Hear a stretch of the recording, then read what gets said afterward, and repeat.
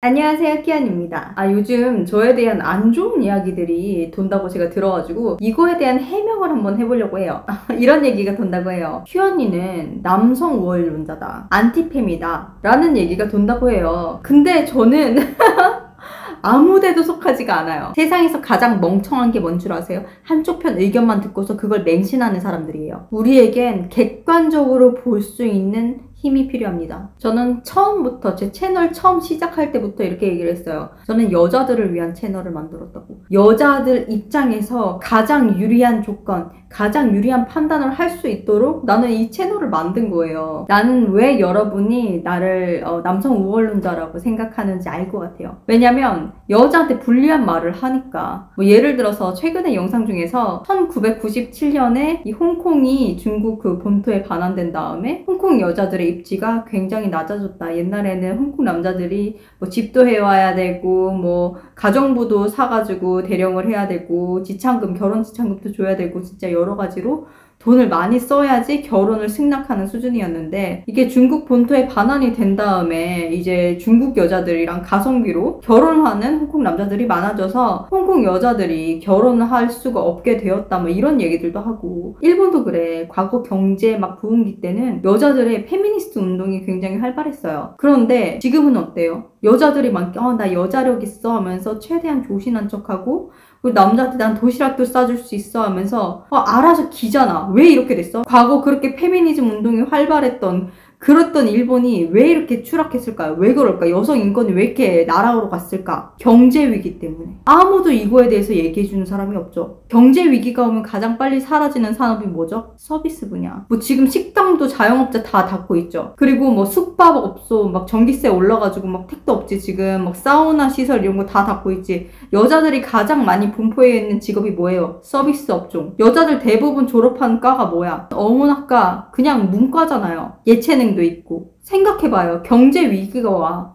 엄마들이 학원을 많이 보낼까? 엄마들이 애기들 막 수영 학원 보낼까? 예체능 학원 보낼까? 물가가 막 올라. 외식을 할까? 인건비가 높아져. 사장님이 알바생을 뽑을까? 대출 금리가 높아져. 가족들이 휴가 때 아니면 주말 때마다 어디 놀러 갈까? 뭐 캠핑카 막 여행 이런 걸 할까? 가장 크게 타격받는 게 여성들의 직업이란 말이에요. 서비스업. 그러니까 어떻게 돼? 여성들의 빈곤율이 높아지기 시작합니다. 솔직히 일자리는 많아요. 시골 이런 데 가면 일자리는 많아. 근데 솔직하게 말해봅시다. 우리 여자들.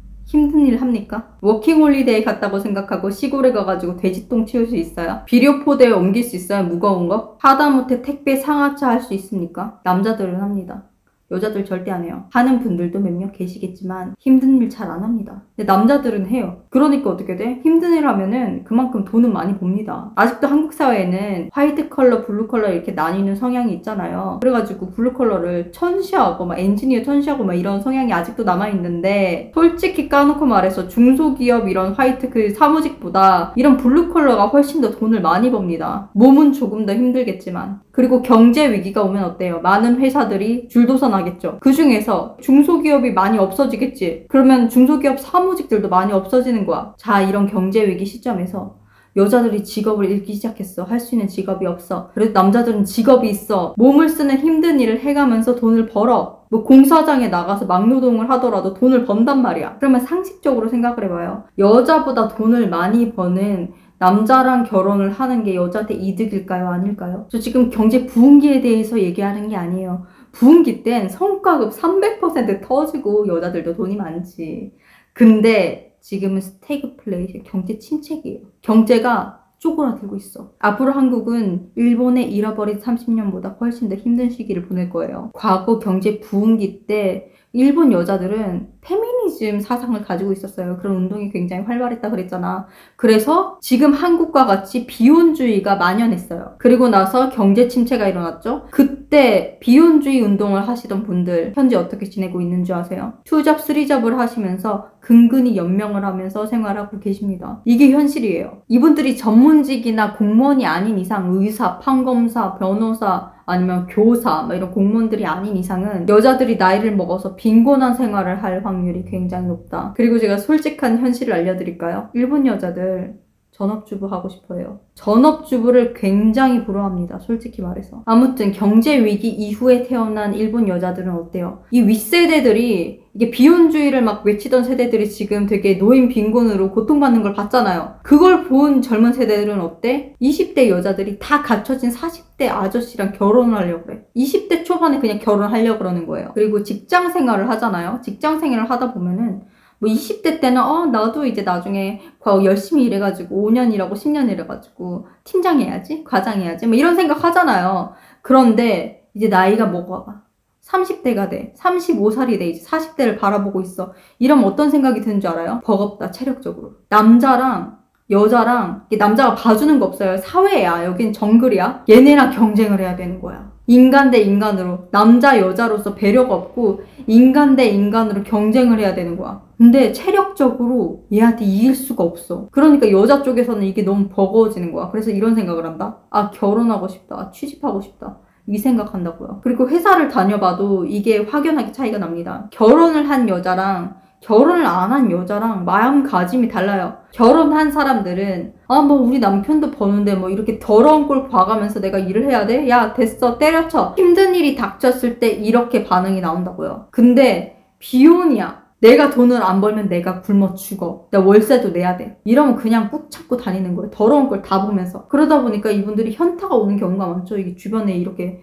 어, 반응하는 여자들을 보니까 내가 이런 말을 하는 거는 여자를 깔려고 하는 얘기가 아니에요. 이걸 알려주는 거야. 미리 알려주는 거야. 이런 일이 있었다. 홍콩에서도 이런 일이 있었고 일본에서도 이런 일이 있었고 옛날에 유럽 뭐 미국 막 페미니즘 난리였어요. 그리고 뭐 뉴질랜드 막 난리였잖아. 근데 지금 왜 이 여자들이 먼저 결혼하고 싶어서 안달일까? 왜 이런 건 미디어에서 안 알려주는 거죠? 해외에 안 살아보신 분들은 우물 안에 개구리예요. 그 우물 안에 있어. 내가 하늘을 딱 봐. 그러면 하늘이 동그래. 어, 어 하늘은 동그랗구나. 이렇게 생각을 할 수 있어. 어, 하늘은 저, 저 정도 사이즈구나. 막 이렇게 생각을 할 수 있어. 근데 그 우물을 뛰쳐나가가지고 다른 세계를 보잖아요? 하늘은 광대해. 모양이 없어. 이 진실을 알 수 있게 된단 말이에요. 진짜 진실을 보고 싶으면 이 동굴 안에 그림자를 보지 말고 동굴 밖으로 나가서 실제 형상을 보란 말이에요. 나는 그 형상을 알려주는 사람이야. 속이는 사람이 아니라. 그래서 불편할 수 있어. 근데 진실을 알면은 지금 같은 소리 못 할 거예요. 자, 미국의 쇼 프로그램 중에서 I'm not your father 이라는 쇼 프로그램이 있어요. 이게 뭐냐면 여자들이 임신을 해요. 막 이 남자 저 남자 막 만나다가 임신을 해. 근데 누가 아빠인지 몰라. 근데 그 중에서 여자들이 막 생각을 하는 거지. 가장 돈을 잘 버는 남자를 골라서 야 나네 애기를 낳았어 해서 걔랑 결혼을 해. 그래가지고 그 사람한테 양육비를 받아내는 거야. 그런 식의 삶을 살거든요. 근데 이 남자가 아무리 생각해도 이 애가 나랑 안 닮았어. 어 나는 O형이고 여자도 O형인데 얘가 AB형이야 이상해. 막 이래. 그럴 때는 어떻게? 이 프로그램에 딱 진짜 나와가지고 말을 하는 거지. 나 아무래도 이 사람, 이 여자가 내 애가 아닌 다른 애를 낳아가지고 나한테 양육비를 막 내라고 한 것 같다. 나 아빠를 찾아줘라. 막 이런 식으로 해가지고 프로그램에 의뢰를 해요. 그러면은 이 프로그램에서 여자가 막 얘기를 해. 아니야, 이거 얼굴을 봐. 이 애기 니랑 똑같이 생겼잖아. 막 이러면서 이 애는 분명히 네 애가 맞다. 그냥 양육비를 줘라. 막 이런 식으로 얘기를 해요. 막 정에 호소를 해. 막 행복한 가족의 막 장면도 보여주고 막 그래요. 어, 이런 생활을 했었다. 어떻게 그런 말을 할 수 있냐. 근데 맨 마지막에 딱 이걸 들려, 드러내면서 너는 이 아이의 아빠가 아닙니다. 이러면은 남자가 환호를, 와! 그렇게 환호를 해. 이제 양육권을 안 줘도 된다 이거야. 어. 여자들은 거기서 나온 여자들은 막 안 된다고 막 울부짖어. 뭐, 아, 그럴 리가 없다. 이러면서. TV가 교체되는 순간이죠. 그러니까 어떻게? 여자가 오히려 애를 낳으려고 한다니까? 여자들이 결혼하고 싶어 미친다고요. 그리고 또 내가 봤던 다른 쇼 중에서는 되게 성공한 남자 그 토크쇼가 있어요. 막 억망장자, 막 백망장자 이런 사람을 초대를 해가지고 토크쇼를 해. 그런데 어떤 24살의 남자가 나와요.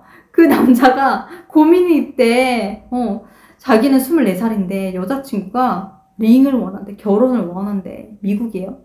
그러니까 이 사회자가 아 이러면서 남자 어깨를 턱 잡고서 이렇게 말해. 정신 차려 내 눈을 똑바로 봐. 이러면서 너는 만 35살이 되기 전까지 절대로 결혼을 해서는 안 돼. 네가 네 자신을 알 때까지 그리고 네가 성공을 할 때까지 절대로 결혼을 해서는 안 돼. 이러는 거예요.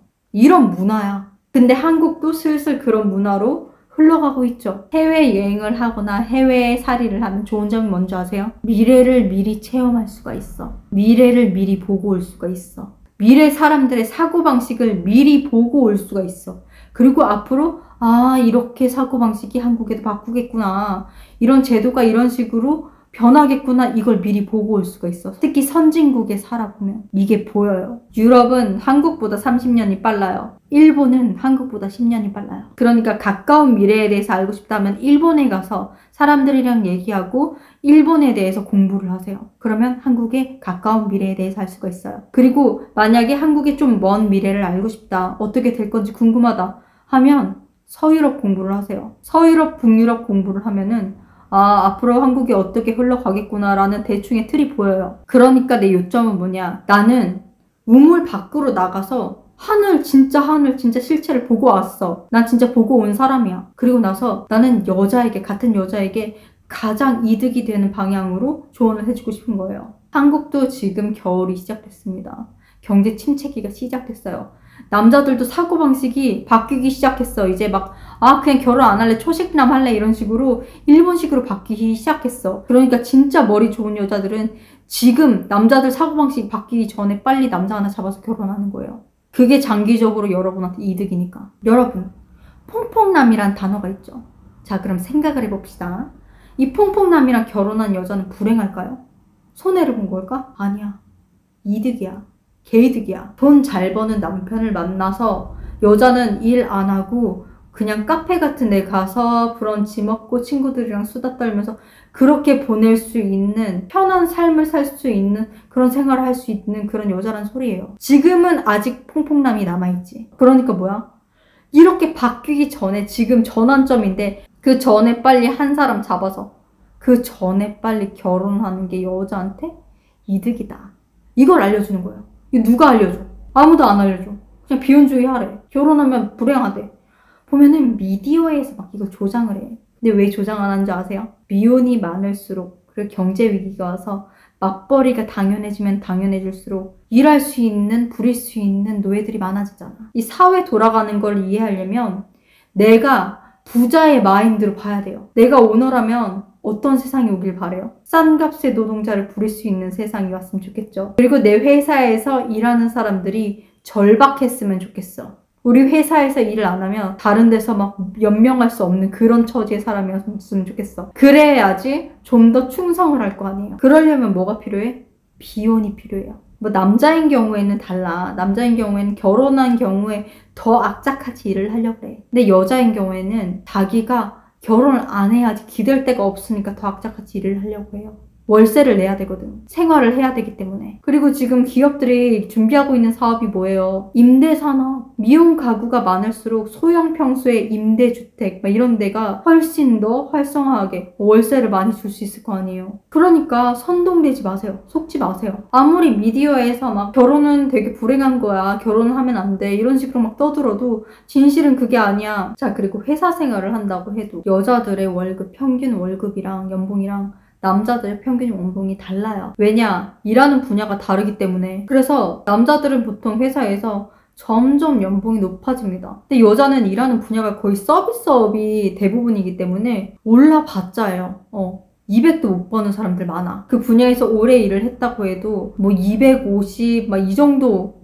300 넘는 사람을 본 적이 잘 없어요. 그리고 이사까지 올라가는 사람이 잘 없어요. 뭐 20대 때는 뭐 180, 200 받아도 된다고 쳐. 근데 40대고 50대고 60대고 했는데도 계속 연봉이 제자리 걸음이다. 어, 오를 생각을 안 한다. 조금 조금 눈꽃만큼밖에 안 오른다 이러면은 여자들의 경제적, 사회적 질이 올라갈 확률이 얼마나 되겠어요? 그러니까 결혼을 하는 게 여자한테 이득이라는 거예요. 뭐 앞으로는 맞벌이 시대긴 하지만 그래도 믿을 구석, 기댈 구석이 한 군데라도 있는 거랑 내가 이걸 안 벌면 죽어. 이거랑 마음가짐이 같냐고요. 내가 이런 거 알려주잖아? 그러면 분명히 이런 댓글 달린다. 아, 누나 이런 거 알려주지 마세요. 제가 안타까워서 그래요. 그럼 당신은 왜 그러고 사는데? 나는 곧 40이야. 글렀어. 그러니까 알려주는 거 아니야. 이렇게 되지 말라고. 이런 거 누가 알려줍니까? 다들 여러분 주변에 다 경쟁자야. 어, 괜찮은 남자 빨리 이렇게 혹 채가가지고 막 결혼을 하려는 경쟁자란 말이에요. 근데 누가 알려줘? 비혼주의 하면 막 박수치고 좋아하지.